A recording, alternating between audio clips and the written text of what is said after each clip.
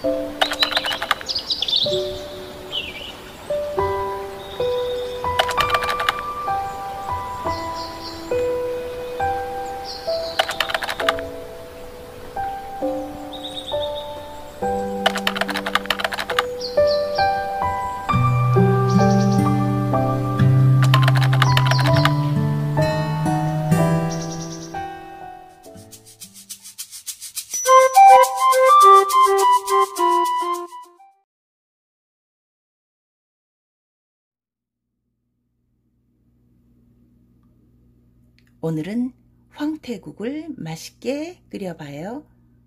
손질된 황태, 양파, 마늘, 고추, 그리고 참치액이나 간장에 고춧가루 한 두 스푼 정도 넣었고요.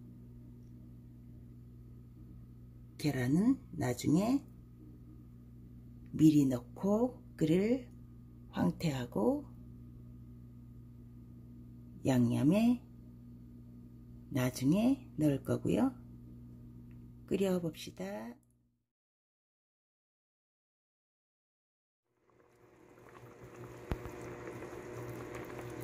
구수하고 맛있는 황태국이 익어가는 소리를 들으십니다.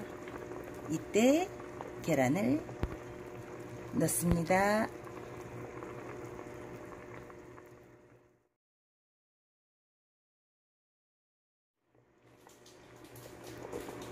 맛있는 계란 황태국이 완성됐습니다.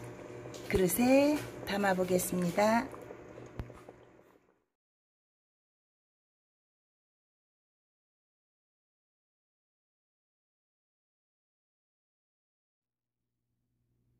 맛있는 황태 계란국이 완성되었습니다.